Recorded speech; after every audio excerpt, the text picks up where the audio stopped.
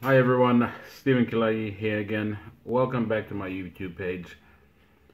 The message today, I was thinking a lot today and I was contemplating churches. Um, I originally, my family, um, were Catholics and um, I moved on to joining the uh, the Pentecostal movement because I like the teachings.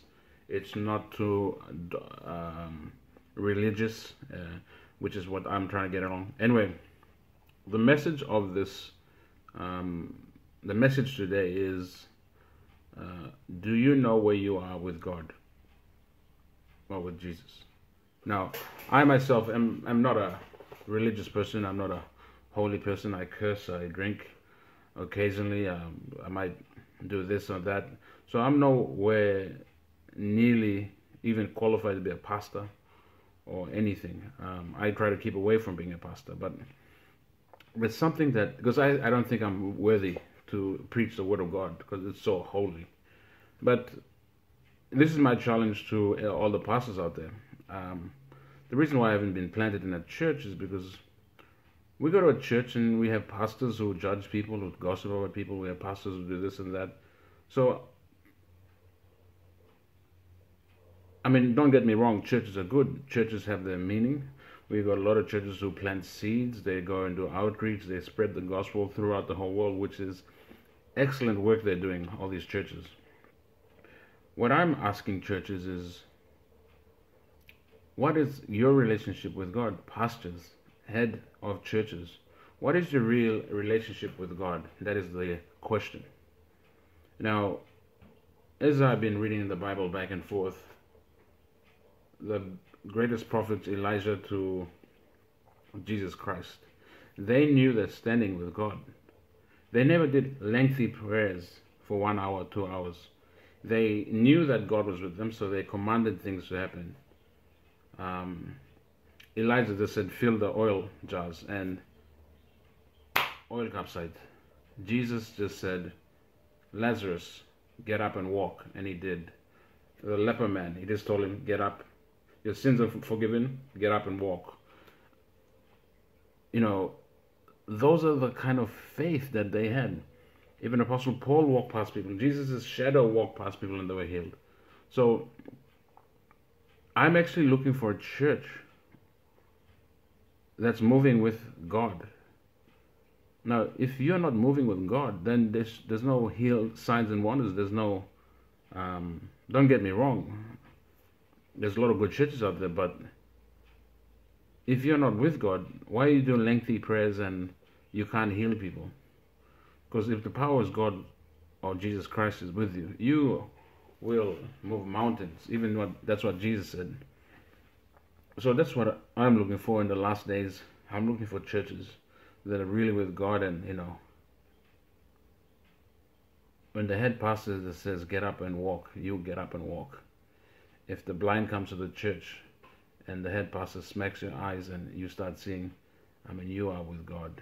So the question is to a lot of pastors, uh, churches, what is your relationship with God? Are you really with God or are you pretending to be with God? I see, a lot of people, we we go to church and all I hear about is tithes and offering. But we want to see healing. We want to see God's power move. We want to see miracles.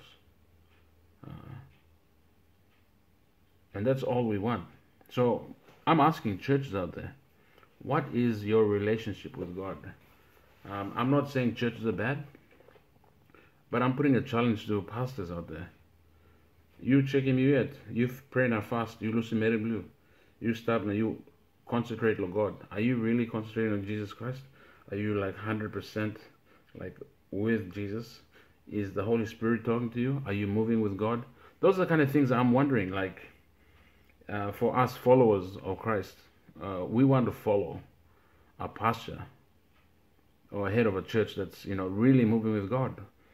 I mean, you're looking at signs and wonders.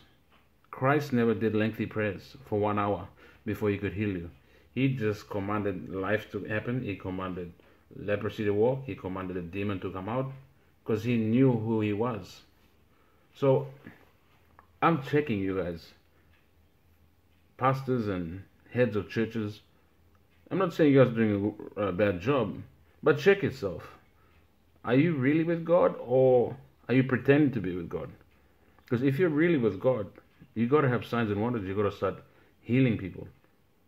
Um, I want to see healing. I want to see your faith, and I want to see these things happen. Um, I'm not discrediting any pastors. I, if your heart's in the right place or wrong, I'm not to judge. One thing I don't agree with is we're judging homosexuals, we're judging lesbians, we're judging uh, prostitutes, we're judging drunkards, we judge everyone. Um, I think a church should just preach the word. Anyone can come in and worship. What the relationship with God, that's their problem. We just worry about our relationship, and that's how I think churches should be run these days. We shouldn't be focused on judging people and their lives. Let them run their own lives. So this is my little rant, and it gives you um, my viewers out there something to think about. Uh, whatever church you're planted with, um, stay with the church. I'm not telling you to leave the church, but also question them.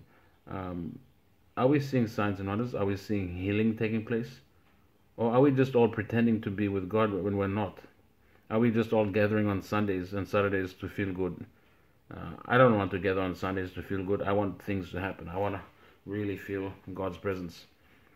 I think that's why I have not been planted in a church. So encourage all of you guys to really find your your true God, whoever God you worship. I I believe and I worship uh, our God, Jehovah Java. Um, I think He's the only God, and uh, I just have to work on my relationship with God. Uh, I would I would love to work a relationship where I can start healing people. Go to uh, I don't want need a ministry to do that. I don't need a jet to do that. Uh, if you truly with God, you just go out and do the, God's work. So you don't need to be part of an organization and to be religious. But that's my view. Um, what are your views? Please comment below. Do you think churches should have moved with signs and wonders? I know a lot of pastors will there be angry at me, but uh, don't be angry. You're a man of God. Forgive. Uh, this is just to challenge you. The word of God is to challenge you. So if pastors out there, if you think you're I'm incorrect, please comment down there. And your views. Um, are we all just wasting our time pretending to be with God? Or if you're really with God, I want to start seeing the signs. I want to start praying and fasting.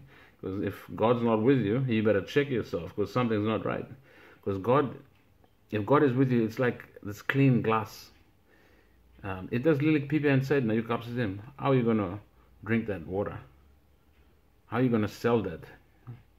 So that's exactly like Jesus Christ. If you have a little blemish in you, He's not gonna. The Holy Spirit's gonna come through you and heal people. So uh, I think everyone's gonna check themselves. If you're a man of God or truly man of man of woman, woman of God, um, let's start seeing some healings. Let's start seeing people rise from the dead. Let's start. It's you guys say it all the time in church. Through Him, all things are possible. So let's start doing it, guys. I'm challenging all you pastors out there. Check your relationship with God. Are you truly with God? Ding ding. Please comment below if you like this.